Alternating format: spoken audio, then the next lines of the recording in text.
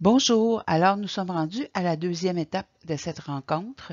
Euh, nous avions euh, donc, euh, je vous avais présenté, c'est la démarche de Boris Cyrulnik que j'ai adaptée dans un contexte de prochaine danse. Alors nous étions rendus à la dixième diapositive.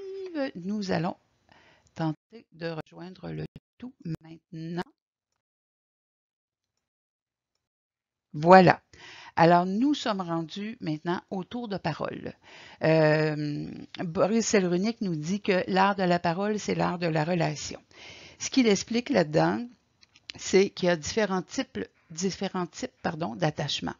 70% des enfants vont euh, acquérir très tôt euh, le principe d'attachement avant même la parole. Alors, c'est quelque chose qu'on doit euh, réapprendre, je dois dire, à conscientiser dans notre démarche d'aidant. Lorsque on, quand on est tout petit, on apprend le tour de parole.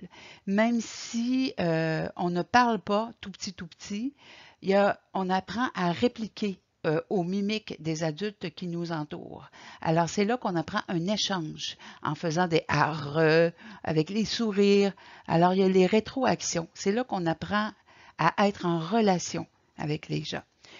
Euh, lorsque les parents sont insécurisants, certains enfants vont devenir matures trop vite. Euh, ils vont, ça va donc retarder des éléments de leur développement. Chez l'humain, en principe, le cerveau a complété sa maturité à l'âge de 25 ans. Alors, quand on accélère le processus, on va installer donc des blocages. C'est ce que Boris Cyrulnik nous euh, suggère. Alors, il y a des méthodes maladroites euh, d'entrer en relation. Alors, euh, c'est souvent, ben, malheureusement, lorsque les parents sont insécures parce qu'ils ont eux-mêmes un traumatisme, parce qu'ils euh, vivent des choses complexes, qu'ils n'ont pas toutes les habiletés nécessaires pour accompagner l'enfant dans son développement. Alors, on va voir que soit l'enfant qui est traumatisé va avoir une tendance à ne penser qu'à soi, euh, s'intéresse pas aux autres. Euh, euh, et l'autre va sentir très bien que dans le développement que la personne ou l'enfant ne s'intéresse pas à lui. Alors, ça va installer un mode de relation où une personne est angoissée et l'autre prend toute la place. Donc, sa priorité, c'est lui et l'autre n'est pas important. Alors, Boris Cyrulnik nous met en garde avec ça. Euh, il y a des solutions, bien sûr. Euh, il faut apprendre à développer l'empathie. Alors, on va le voir euh, un petit peu plus loin. l'empathie, on va pouvoir l'apprendre à, le développer en donnant, justement, en se réappropriant l'art de la parole, le tour de parole. Donc, je m'exprime et je laisse l'autre s'exprimer. J'attends qu'il ait terminé pour reprendre mon tour de parole.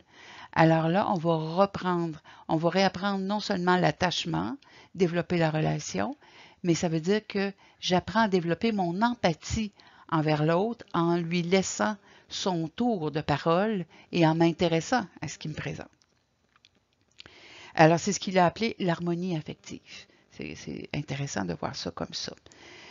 Euh, moi, ce qui m'intéressait dans cette démarche-là, dans toute la démarche de tour de parole, c'est que souvent, on va voir dans un rôle d'aidant aidé, que ce soit au niveau professionnel ou au niveau familial ou autre, euh, souvent, on va s'apercevoir que euh, des professionnels même vont s'adresser directement à l'aidant plutôt que de parler à l'aider, surtout quand la personne est en fauteuil roulant. On dirait qu'il y a quelque chose au niveau de la, le fait d'être debout et d'une personne assise, ou de penser qu'il y a une personne qui a présentement certaines difficultés dans son cheminement de vie ou des inaptitudes à fonctionner euh, comme la majorité des gens, alors on va s'adresser à la personne qui l'accompagne. Alors là, on vient de faire une rupture dans le tour de parole. Tant que les gens sont capables de s'exprimer, et là, on ne parle pas que de la parole. Oui, il y a un tour de parole. Rappelez-vous que l'enfant, avant même de parler, s'est exprimé lui aussi. Alors, lorsqu'on a l'impression que les personnes ne nous entendent plus, parfois on va entendre ça dans les situations où les gens vont vivre un, trouble neurologique. Même j'ai vu dans les situations où les gens euh, avaient eu un traumatisme crânien. Alors, on a l'impression euh, qu'ils ne nous entendent pas ou qui ne peuvent pas réagir, alors que pourtant, un clignement des yeux, parfois le mouvement des mains, juste hocher la tête, il y a une communication là, il y a un tour de parole.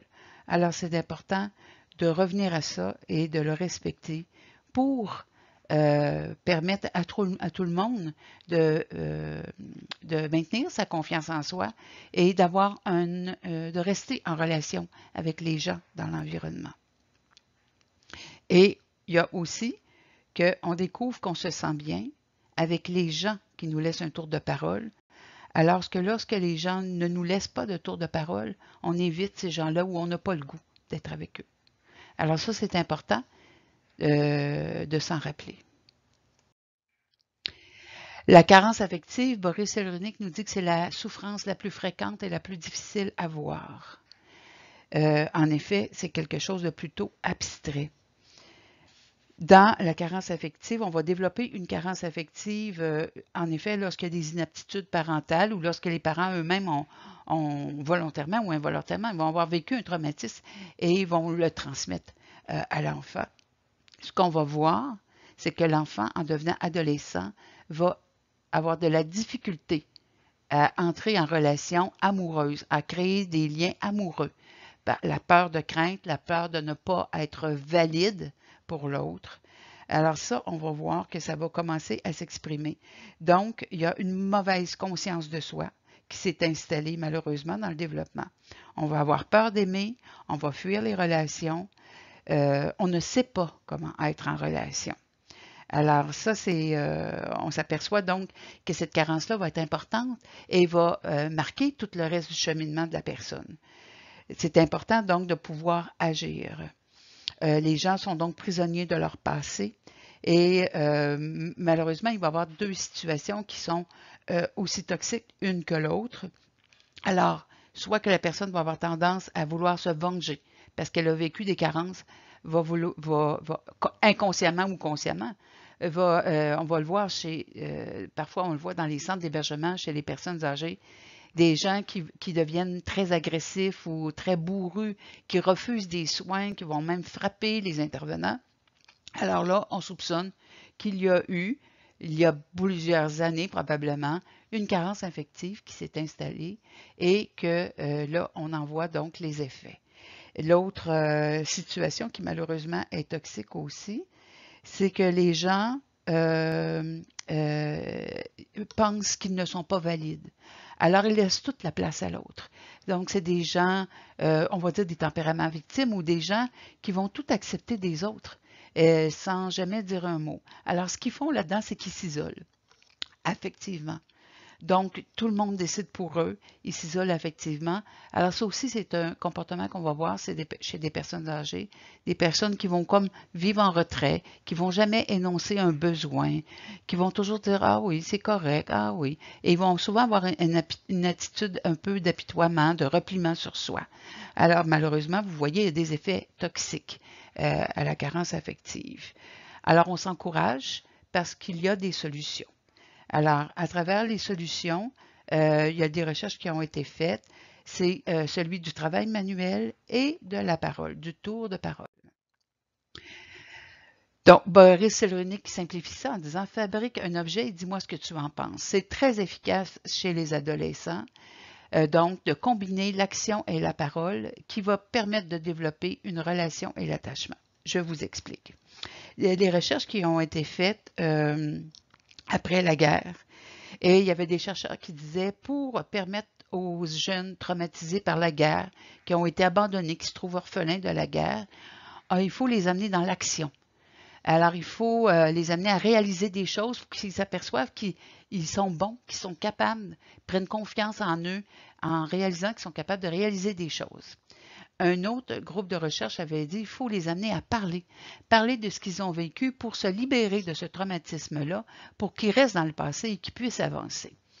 Alors, euh, le beau résultat de tout ça, c'est que les deux, ensemble, c'est encore mieux.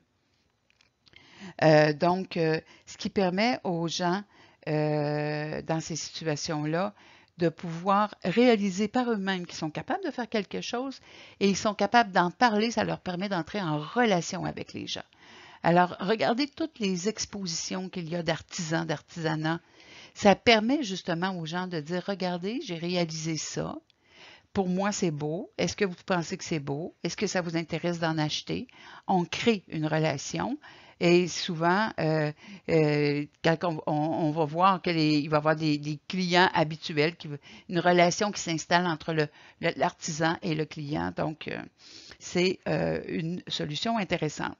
Ce qui m'amène à vous dire que c'est important de laisser les personnes que vous aidez dans l'action. Donc, de les amener à réaliser des choses. Parfois, c'est très peu. Euh, je me souviens euh, souvent dans les centres d'hébergement de soins de longue durée, euh, on va demander aux personnes âgées de plier les serviettes, les débarbouillettes, les serviettes. Alors ça, c'est d'être en action. Vous voyez, ça prend des choses très simples. on va créer des bricolages. Quand les gens perdent certaines aptitudes à cause de maladies neurologiques qui amènent une, une dégradation de certains apprentissages, euh, on va utiliser des bricolages simples, des dessins. Ce qui est important, c'est que la personne soit en action et lui permettre d'en parler. Qu'est-ce que vous avez réalisé là? Qu'est-ce qui vous a amené à choisir cette couleur-là? Qu'est-ce que ça représente pour vous? Euh, et de dire qu'est-ce qu'on en pense. Mais, et, bien sûr, si c'est positif, euh, c'est pas le temps d'amener des commentaires négatifs, euh, mais de, laisser la personne s'exprimer, de lui donner, de donner un sens à ce qu'elle a réalisé et de l'entendre, de la recevoir dans ce qu'elle présente. Ça permet aux gens donc de se libérer de beaucoup de choses. C'est ce qu'on va voir tout de suite.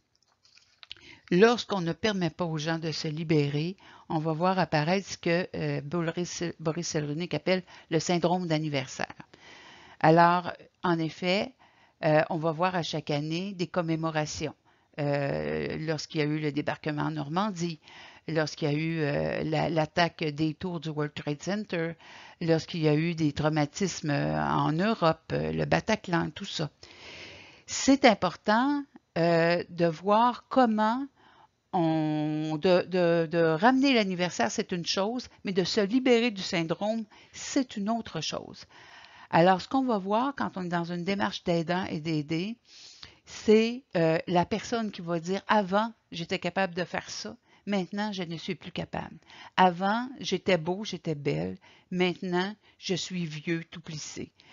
Alors, vous voyez, les gens restent dans une nostalgie, dans un passé. C'est ça le syndrome d'anniversaire. C'est comment on reste prisonnier du passé et qu'on s'empêche d'avancer c'est important dans votre démarche d'aide de pouvoir accompagner la personne là-dedans. Si ce n'est pas possible pour vous, parce que vous vivez vous-même cette, cette dimension-là, allez chercher un support extérieur qui va vous permettre de le traverser avec l'aider. Ça va être salutaire parce que ça va vous permettre d'aller de l'avant lorsqu'on a complètement toujours les yeux, et vous ne penseriez pas conduire une voiture en regardant constamment le rétroviseur et en n'ayant pas les yeux en avant. C'est la même chose pour votre vie, c'est la même chose pour la vie des personnes que vous aidez. C'est important donc de travailler ça. Ce qu'on fait avec le syndrome euh, d'anniversaire, c'est qu'on réveille la souffrance. Euh, donc, euh, la souffrance, c'est pas ce qui va vous aider à vous sentir bien et à pouvoir construire une sécurité. Vous vous rappelez de, ça, de, la démarche de sécurité pour être capable de travailler l'attachement et de pouvoir avancer, évoluer.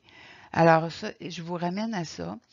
Quand on réussit à traverser le syndrome d'anniversaire en disant oui, ça s'est passé dans ma vie et depuis, j'ai réalisé telle chose. Depuis, ça m'a permis de m'impliquer dans telle démarche. Euh, à chaque année, j'aime vendre le coquelicot. Euh, oui, c'est une commémoration, mais au moins je peux être partie prenante d'une réalisation d'un mieux-être euh, pour les soldats qui reviennent de la guerre et qui vivent des traumatismes. Vous voyez, vous pouvez transformer donc ce traumatisme-là, qui était le vôtre, en une situation où vous prenez du pouvoir sur votre vie et que vous pouvez partager avec les autres. Alors, vous voyez, c'est ce qu'on appelait euh, dans la première présentation toute la démarche au niveau culturel, le traumatisme culturel. Bien, ce traumatisme-là, il peut être très personnel. Ce qui est important, c'est de vous libérer de ce syndrome-là pour en faire quelque chose, lui donner un sens dans votre vie. Vous vous rappelez qu'on a parlé de ça, bien sûr. Euh, on va voir quand les gens euh, ont réussi à se débarrasser du syndrome, ils vont dire euh, Je ne vois plus les choses de la même manière. Ça s'est passé, mais maintenant, c'est différent dans ma vie. Alors, c'est signe que la résilience est en cheminement et que les gens sont en réparation. La perte de confiance en soi, je vous ramène donc à, euh, probablement que vous avez déjà vu l'échelle de Maslow. Dans les cafés causeries, c'est des choses qu'on a parlé. Alors, je vous le ramène à la base.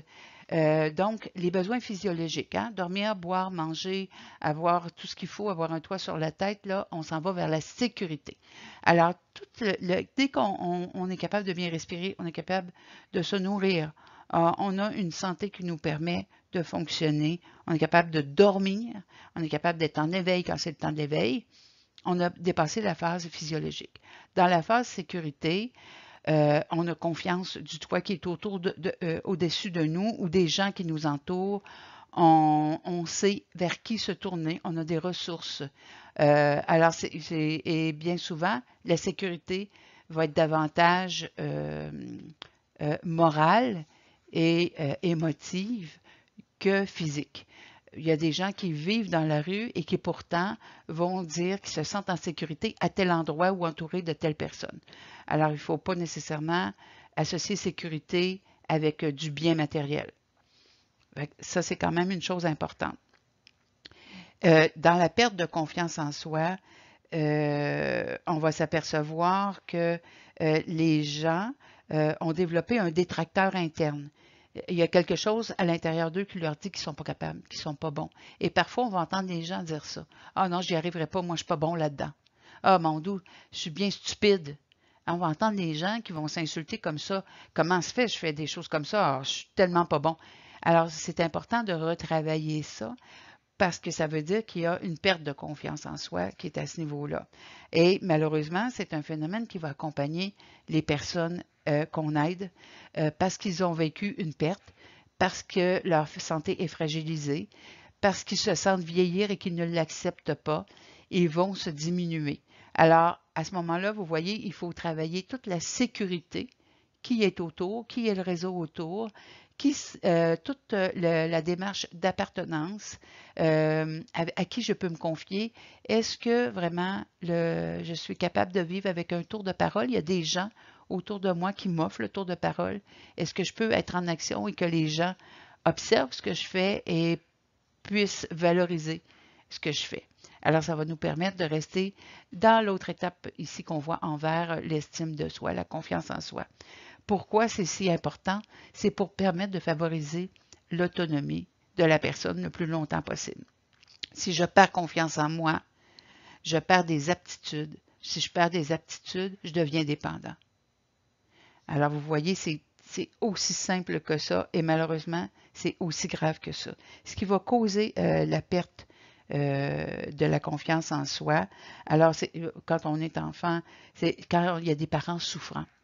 Euh, donc qui ne peuvent pas venir sécuriser l'enfant. Donc l'enfant lui-même ne va pas développer sa sécurité parce que euh, il ne voit pas le modèle. Alors s'il trouve le modèle ailleurs, tant mieux, il va pouvoir retravailler ça.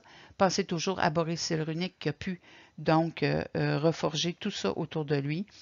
Lorsqu'il y a un isolement affectif, la personne non seulement ne se sent pas aimée, mais vit énormément de rejet. Alors ces situations-là euh, aussi, passer à l'expérience que je vous parlais tout à l'heure, les orphelins de la guerre. Alors, euh, ces gens-là ont perdu des familles complètes. Il fallait reconstruire donc, se rebâtir une famille. La famille, ce n'est pas toujours des liens de sang, ça peut être simplement des gens en qui on a confiance, qui sont des repères dans notre vie. Alors ça, c'est important. Euh, et, c'est ça, il faut faire attention de l'auto-jugement qui va provoquer euh, ce qu'on appelait le dénonciateur, donc qui va invalider toutes les pensées, toutes les, toutes les actions. Alors, ça s'apprend. Euh, et donc, ça s'apprend. On va regarder euh, les différentes solutions ensemble. Donc, on en parle un petit peu par l'action, par l'autogratification. Quand je réalise quelque chose par moi-même et que je suis fier de ce que j'ai fait, je m'auto-gratifie je viens de me dire, et j'enregistre dans mon cerveau, dans mes neurones, je, passe le message de Je suis bonne là-dedans. Je réussis bien telle chose. Je suis capable de faire ça. Et lorsque j'échange avec quelqu'un, que je peux le montrer avec une personne et qui a un, un tour de parole, alors là, je crée un attachement avec quelqu'un, avec mon objet d'action. On va développer donc une sécurité à partager ma, valeur ou mon auto-évaluation. Et si les gens euh, me complimentent là-dedans ou m'accompagnent là-dedans, ils disent Ah oui, c'est vrai, euh, je ne sais pas comment tu as fait ça, euh, je ne comprends pas, je ne sais pas comment je ferais, est-ce que tu peux me montrer, m'expliquer? Alors là, on vient de valoriser la personne. La personne, ce qu'elle vient d'entendre et d'enregistrer, c'est je suis valide dans mes yeux, mais je suis valide dans les yeux des autres aussi. Ça, c'est très important. Alors, ça fait partie donc des démarches de solution. Il faut donc choisir des moments et des moyens euh, d'être en action. Il faut aussi réapprendre, donc euh, reconstruire l'attachement sécure. Euh, vous voyez, petit à petit, c'est des choses qui se construisent jour par jour, geste par geste et parole par parole. Alors oui, il y a des gens où on va entendre des commentaires des fois négligents face à quelque chose qu'on a fait. Il faut faire attention. Je me souviens quand je travaillais dans l'enseignement d'avoir croisé à un moment donné dans le corridor euh, une jeune enseignante qui euh, terminait donc la première session et qui euh, semblait un petit peu débinée. Je lui dis, est-ce que ça va? Elle me dit, ah oui, ça va, tu t'inquiètes pas, mais je viens d'avoir les évaluations de mes étudiants. J'ai dit, OK, et tu en as combien de négatives? Elle dit, ben, une. Puis j'ai dit, là, toute ton attention est sur celle-là. Elle dit, ah, tu as raison. Je n'avais pas réalisé. Et j'ai dit, tu as combien d'étudiants dans ta classe? 38. Donc, il y a 37 qui ont validé la qualité de ton enseignement. Puis j'ai dit, es en train de toutes les mettre de côté pour une personne qui n'a pas apprécié. Peut-être que tu n'es pas responsable du fait qu'elle n'a pas apprécié. Peut-être qu'il y a quelque chose qui n'est pas compatible puis que tu peux travailler, tant mieux. Mais les 37 autres sont bien plus importants. Et il faut apprendre à faire ça. On met beaucoup d'énergie euh, pour ce qui est négatif et on met de côté ce qui est positif. Pourtant, on ne devrait pas faire ça. Alors, c'est important dans vos échanges avec euh, les personnes que vous aidez de porter de l'attention sur le positif. Fermez de temps en temps la télévision. Écoutez des belles musiques. Regardez des belles images, des beaux paysages. Valorisez des beaux moments. Rappelez à la personne des belles choses qu'elle fait et qu'elle a déjà fait. Rappelez-lui la valeur de ses gestes du, du passé et rappelez-lui qu'ils sont toujours valides et qu'ils ont probablement été transmis comme valeur auprès de ses enfants, auprès de gens avec qui elle travaillait, que cette personne-là a eu un impact sur d'autres. C'est important de le rappeler pour les gens qui ont de la difficulté à se le rappeler eux-mêmes. Oui, c'est une tâche d'aidant. C'est une tâche de tous les types d'aidants.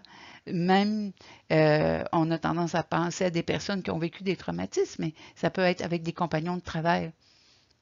Pensez-vous à dire aux gens qui vous entourent, avec qui vous travaillez, c'est agréable de faire ce travail-là avec toi, j'ai aimé faire cet événement-là avec toi ou compléter ce document difficile avec toi, j'ai appris beaucoup de choses. C'est peu de choses pour vous hein, de le dire, mais c'est tellement gros pour l'autre qui va le recevoir. Alors, c'est important de le faire. Et ça va peut-être vous permettre de recevoir aussi des commentaires agréables de la part des autres. Alors, c'est un entraînement c'est un quotidien qu'il faut travailler tous les jours avec tous les gens et dans tous vos gestes, toutes vos paroles. On va parler, on a parlé tout à l'heure de l'empathie. Alors, on va parler de l'empathie. Euh, Boris Cyrulnik nous définit l'empathie ainsi se décentrer de soi pour se représenter le mode mental de l'autre. Ça ne veut pas dire s'oublier pour être dans la représentation mentale de l'autre. Ça veut dire juste pendant quelques minutes ou quelques temps, mettre un peu de côté comment moi je vois les choses pour essayer de comprendre comment l'autre voit les choses. Vous n'êtes pas obligé, d'attraper le cancer pour comprendre quelqu'un qui vit avec un cancer. Vous avez vécu des choses difficiles dans votre vie, vous pouvez comprendre et accompagner quelqu'un qui vit des choses difficiles dans sa vie. Ce qui est important, c'est de ne pas nécessairement se sentir obligé de tout comprendre. comment l'autre vit. Mais ce qui est important, c'est de comprendre ce qu'elle vous dit. Quand euh, une personne que vous accompagnez euh, vous parle de choses difficiles, c'est juste d'écouter. D'écouter, puis parfois même de dire, je ne sais pas quoi te dire, je ne sais pas comment t'accompagner. Comment je pourrais t'accompagner? Qu'est-ce qui te ferait du bien? J'ai aimé passer du temps avec toi. Il y a des fois, ça prend peu de choses. Puis vous savez, il y a des fois, cette empathie-là, plus on l'exerce, moins on se rend compte qu'on le fait à des moments importants pour d'autres. Je me souviendrai toujours, on est dans un souper, il y a plein de gens qui parlent, et il y a une personne qui, bon, se met à raconter euh, un, épisode de vie. Je l'écoute, je suis fascinée, c'est quelqu'un que je ne connais pas, qui a une expérience que je trouve impressionnante. Et lorsque la personne a fini, je, lui dis simplement, euh, c'est fascinant, c'est vraiment intéressant ce que vous m'expliquez là. Euh, c'est quelque chose que je ne connaissais pas. Et la personne a reculé sur sa chaise elle a dit, c'est la première fois que quelqu'un m'écoute vraiment. Mais vous voyez, pour moi, c'était juste, ça m'avait captivé ce que la personne m'avait dit. Ça prend peu de choses pour communiquer à l'autre, donner son tour de parole. Hein. Il a parlé, je prends mon tour de parole et je lui retourne un tour de parole en lui disant, waouh, c'est fascinant ça, c'est quelque chose nouveau pour moi. Alors, ça permet de dire à cette personne-là, ou cette personne-là, elle a entendu qu'il y avait quelque chose qu'elle avait réalisé dans son passé, qu'elle avait, qui, non seulement c'était concret, c'est un ancien enseignant, mais c'était, euh, moi je trouvais que c'était révolutionnaire son approche. Alors, ça, lui permet de dire, hey, euh, je suis bon, j'ai réalisé quelque chose et c'est encore valide pour quelqu'un. Alors, vous voyez, c'est ça de l'empathie.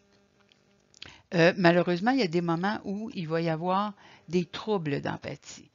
Euh, bon, Selrunic ici prend des, gros mots que je trouve parce qu'il va parler des pervers et des psychopathes, mais pas nécessairement des pervers et des psychopathes comme on va le voir dans le dictionnaire de la psychiatrie, mais il va dire plutôt qu'il y a un effet pervers euh, chez certaines personnes qui ont un trouble de l'empathie parce qu'ils vont faire la morale. Alors, il y a des gens comme ça qui ne laissent aucune place à tout ce que vous pensez, mais qui vont constamment vous faire la morale, qui vont vous empêcher de vous exprimer, euh, qui, ont vraiment un comportement de domination euh, dans la communication.